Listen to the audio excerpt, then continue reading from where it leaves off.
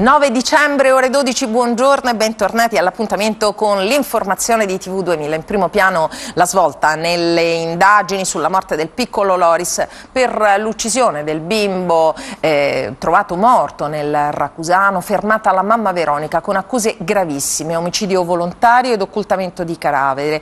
Il marito Davide, il papà di Loris, l'ha accompagnata in quest'ora, ma si è anche lasciato andare dopo giorni di tensione. Se è stata lei, ha detto detto mi crolla il mondo addosso e mi deve dire perché. Ci aggiorna Stefania Squarcia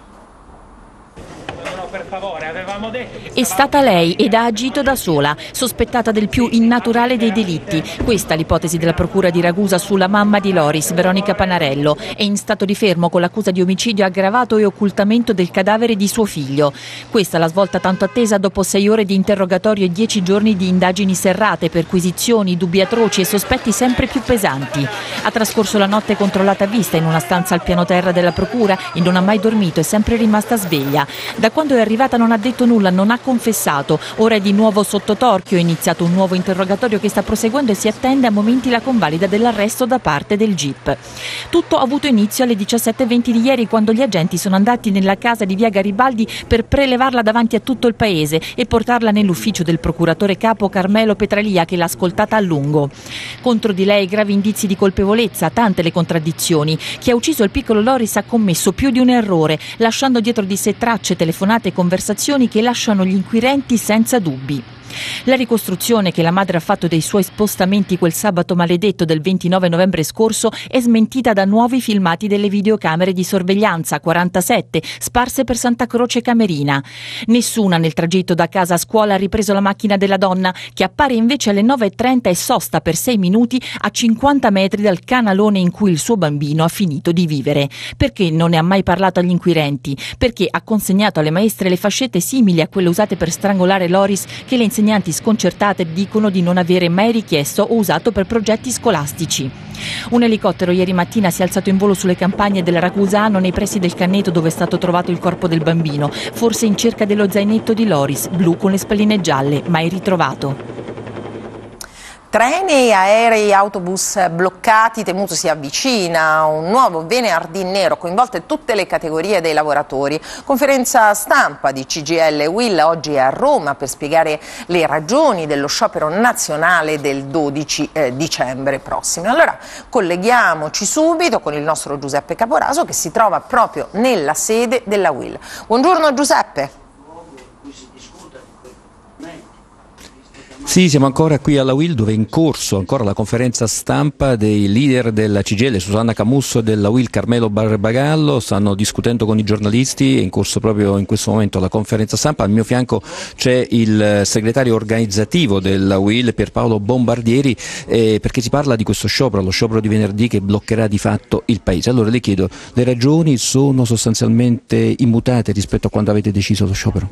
Le ragioni sono assolutamente mutate perché mi pare che i problemi che in qualche modo CGL e Will pongono sul tappeto non sono risolti. Il contratto degli statali ancora non rinnovato, gli 80 euro sono soltanto dati ai lavoratori dipendenti e non ai pensionati e c'è una situazione di crisi diffusa alla quale questo governo non riesce a dare risposta, anzi dà delle risposte negative applicando e approvando con decreti e interventi alla Camera che in qualche modo riducono le tutele e i diritti dei lavoratori da un punto di vista organizzativo in che modo bloccherete il Paese, soprattutto per quanto riguarda il trasporto aereo e ferroviario venerdì prossimo? Ci rammarichiamo ovviamente per i cittadini, ma sarà una bella giornata. Abbiamo previsto 54 piazze, quindi 54 manifestazioni eh, su tutto il territorio nazionale, si fermeranno il trasporto aereo, si fermeranno i treni, si fermerà il trasporto pubblico locale, con l'unica eccezione di Milano gli orari saranno sostanzialmente dalle 9 alle 17 del pomeriggio. Per quanto riguarda invece la CISL che manca in questa mobilitazione, è possibile riprendere una sorta di dialogo per marciare uniti eh, nei confronti del governo, comunque nei confronti della controparte dei datori di lavoro? Noi crediamo di sì, eh, intanto sullo sciopero generale del pubblico impiego anche loro hanno protestato, hanno fatto una serie di iniziative in giro per il Paese contro eh, la situazione che si è determinata in Italia e con delle proposte io credo che sicuramente fra un po' di tempo ci troveremo in modo unitario. Grazie. Grazie a Pierpaolo Bombardieri, segretario organizzativo della WIL. Per il momento è tutto, linea allo studio. Grazie, grazie a Giuseppe Caporaso. Noi torniamo all'inchiesta Mafia Capitale mentre si allarga il numero di indagati, si riparte oggi con gli ultimi interrogatori di garanzia. Il sindaco Marino incontrerà intanto il ministro dell'Interno Alfano ed il prefetto eh, Pecoraro sul tema delle ispezioni. Ieri Papa Francesco ha pregato per Roma e per l'Italia. Nicola Ferrante. Nella strada, io devi dire, ah, come ti chiami, come andiamo sempre, non comanderà mai una committenza. Ci stiamo comprando mezza prefettura di Roma. Continuano a emergere nuovi inquietanti dettagli sugli affari della mala romana, svelando l'intricata e fittissima rete di contatti su cui si regge mafia capitale. Dalla prefettura al colle con l'intento di agevolare la banda, insinuandosi nella pubblica amministrazione come l'appalto per la gestione del centro per richiedenti asilo di Castelnuovo di Porto, una pentola d'oro da 20 milioni di euro. Quando Massimo Carminati parla con Salvatore Buzzi della cooperativa 29 giugno, le intercettazioni ambientali svelano allora come arginare quel grosso problema che blocca la firma su uno dei tanti contratti sporchi bloccato a causa di una condanna che pende su uno dei contraenti. E qui la frase eloquente di Buzzi: ci stiamo a comprare mezza prefettura. In carcere ormai da otto giorni Carminati Ercecato, come soprannominato, si mostra silenzioso e sprezzante. Un giorno ci saremmo dovuti incontrare, dottore, avrebbe detto gelido al PM che lo ha incontrato dopo l'arresto, strettissimo l'isolamento a cui è sottoposto, lui la cui corte era invece sempre affollata di fiancheggiatori, non ultimi alcuni militanti del gruppo ultraromanista di destra opposta fazione, il cui quartier generale è lo stadio olimpico e tutto ciò che gravita nella galassia dei cosiddetti curvaroli, stando a ciò che emerge dalle 80.000 pagine di indagini. L'inchiesta riprende oggi con gli ultimi interrogatori di garanzia ora in corso. Il sindaco Marino incontrerà il ministro Alfano il prefetto Pecoraro sul tema ispettori. Il commissariamento del Campidoglio si allontana, ma si avvicina all'invio di funzionari da parte del Viminale per fare pulizia, perché lo scandalo che colpisce la cupola lascia intanto il tempo a Mafia Capitale di riorganizzarsi.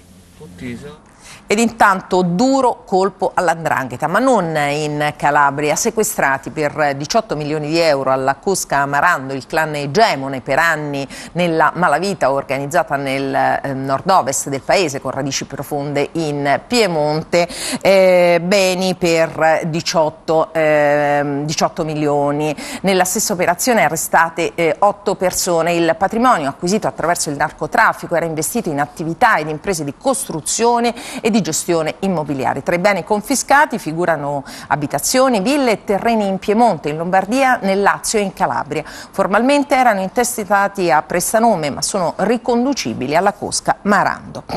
E in Lombardia arrestati cinque agenti penitenziari. Si ipotizza la procurata evasione. Secondo l'accusa i poliziotti avrebbero eh, favorito la fuga dalla casa circondariale di Varese il 21 febbraio del 2013 di tre detenuti romeni in cambio di denaro, permettendo che questi ricevessero in cella una lima ed un cellulare. Evasione che comunque durò poco, dato che i tre vennero intercettati ed arrestati in Svizzera e in provincia di Pavia. Il GIP ha ordinato la custodia cautelare in carcere in attesa di sviluppi nelle indagini. La pagina politica c'è l'accordo sul bilancio europeo e risorse anche per la crescita. Lo annuncia il ministro Padoan all'Ecofin di Bruxelles. Intanto a Roma eh, si precisa che non è prevista l'ipotesi di allargare il bonus degli 80 euro ai pensionati, sfondando il tetto del 3%. Lo sottolineano delle fonti di Palazzo Chigi. La nota è di Augusto Cantelmi. Fare chiarezza senza pietà anche all'interno del PD. Matteo Renzi fiuta i pericoli dell'inchiesta Mafia Capitale sulle conseguenze che potrebbe avere sul Partito Democratico. Difende il ministro del lavoro Poletti ritratto in una foto di quattro anni fa con alcuni indagati, ma chiede un processo veloce e giusto. Ma non lasceremo, sottolinea Premier, la capitale in mano ai ladri. Le spine romane giungono in un momento particolarmente complicato per la vita del governo alle prese con il braccio di ferro con Bruxelles sui conti pubblici. La Commissione chiede un aggiustamento di 6 miliardi, una richiesta che giunge dopo un durissimo scontro tra Roma e Berlino, conclusosi poi con una tregua sancita da una telefonata di chiarimento tra Angela Merkel e Matteo Renzi. Ma l'attento controllo di Bruxelles e Berlino costringe il Premier alla massima prudenza ed ad accantonare la tentazione per rianimare l'economia del bel paese di concedere gli 80 euro anche ai pensionati. Conti dunque che non tornano. Il ministro dell'economia Padoan tuttavia al termine della riunione dell'Ecofin annuncia l'accordo all'interno dell'Unione per il pagamento delle fatture sospese per servizi già erogati pari ad oltre 26 miliardi di euro. Un piccolo segnale che tuttavia non distoglie il severo sguardo della Commissione sulle prossime mosse del governo, a cominciare dai decreti attuativi della riforma del lavoro che il governo si appresta a scrivere. E veniamo alla riforma del lavoro di cui si stanno appunto scrivendo i decreti attuativi che definiranno in concreto modalità e costi del licenziamento. Secondo uno studio della Will a molte imprese converrebbe assumere e licenziare. Ci spiega come e perché Giorgio Schiavoni. Jobs Act e legge di stabilità potrebbero creare un meccanismo mostruoso per il quale le aziende avrebbero un vantaggio economico a licenziare prima che scatti la stabilizzazione programmata dal contratto a tutele crescenti. Secondo i calcoli della Will, un'azienda che nel 2015 assume un lavoratore e lo licenzia a fine anno potrà beneficiare di un saldo positivo di quasi 4.000 euro che schizzerebbero a oltre 13.000 se venisse invece licenziato dopo tre anni, esattamente il contrario dello stimolo all'occupazione stabile promessa dal Jobs Act e l'effetto matematico e paradossale degli sconti su IRAP e contributi previdenziali inseriti nella legge di stabilità da una parte e degli indennizi previsti dal Jobs Act per chi assume a tempo indeterminato con il nuovo contratto a tutele crescenti. Tutto si gioca, dice il sindacato, sulla differenza tra gli ingenti incentivi di cui beneficia l'azienda e il risibile indennizzo che spetta al lavoratore in caso di licenziamento, che si aggirerebbe su una mensilità e mezza per ogni anno lavorato. Per uno stipendio medio di 22.000 euro lordi all'anno, circa 1.700 al mese, la decontribuzione sgraverebbe l'azienda di circa 6.390 euro. Se il lavoratore venisse licenziato a fine anno, l'indennizzo e perciò il costo per l'azienda si aggirerebbe intorno ai 2.550 euro lordi. L'impresa dunque ci guadagnerebbe 3.840 euro un vantaggio che aumenterebbe, stima ancora la Will, se il lavoratore, sempre assunto il 1 gennaio 2015, venisse invece licenziato nel corso del terzo anno. I benefici fiscali per l'azienda su un reddito di 22.000 euro ammonterebbero a circa 20.790 euro, mentre il costo dell'indennizzo sarebbe solo di 7.600 euro lordi, con un guadagno per l'azienda di 13.190 euro. Ed ora ci spostiamo a Milano per parlarvi di borse, ma non solo. Ci colleghiamo con il nostro Marco Bergamaschi. Buongiorno Marco. Buongiorno, buongiorno. Partiamo appunto con le notizie di borsa con Piazza Affari che dopo l'apertura in ribasso, ricordiamo che poco dopo l'avvio segnava meno 1,5%, ha ridotto questo eh, calo, iniziale con il, calo iniziale con il Fuzzi Mib che ora si aggira intorno al meno 1%. Riducono le perdite rispetto agli avvio anche i titoli bancari, da segnalare lo sprint solitario di Monte dei Paschi di Siena e i petroliferi che risentono del prezzo del greggio che è ai minimi dal 2009. Lo stesso crollo dei prezzi petroliferi sta infliggendo un duro colpo all'economia l'economia della Russia, Russia, tanto che la Banca eh, Mondiale ha tagliato le proprie stime di crescita per Mosca portandole al meno 0,7% per il 2015, mentre sempre gli effetti del deprezzamento del greggio hanno costretto la Banca Centrale Russa a spendere qualcosa come 4 miliardi e mezzo di dollari la scorsa settimana proprio per sostenere il rublo. Ecco, in Europa con le piazze eh, che sono per lo più in territorio negativo spicca il forte calo eh, di Atene che intorno alle 10 di stamane aveva toccato meno 6%, eh, mentre invece i, titoli, i rendimenti dei titoli di Stato greci sono in deciso rialzo. Il tutto dopo che il governo ha anticipato di due mesi il voto per il Presidente. E infine sul fronte energetico una buona notizia in prospettiva anche per l'Europa. Eh, L'Ucraina ha cominciato a ricevere le prime forniture di gas russo dalla loro interruzione che risale a giugno giugno a renderlo noto l'operatore pubblico dei gasdotti eh, ucraini. Il 30 ottobre Ucraina, Russia e Unione Europea, lo ricordiamo, avevano raggiunto un'intesa per la ripresa delle forniture di gas a Kiev da parte della russa Gazprom fino a marzo 2015. L'intesa prevede parte del saldo del debito ucraino e il prepagamento delle forniture per l'inverno 2014-2015. Da Milano è tutto, vi restituisco la linea. Grazie, grazie a Marco Bergamaschi. Aprite le porte alla consolazione del Signore. Questa mattina Papa Francesco ha preso spunto nella sua omelia a Casa Santa Marta dalle parole del profeta Isaia sulle sofferenze di Israele dopo l'esilio a Babilonia. Il Papa ha ribadito che la gioia della Chiesa è essere madre, andare a cercare le pecorelle smarrite. Alla Chiesa, ha aggiunto, non serve avere un organigramma perfetto se poi è triste e chiusa, se non è madre. Di qui l'invito ad essere cristiani gioiosi con la consolazione della tenerezza di Gesù.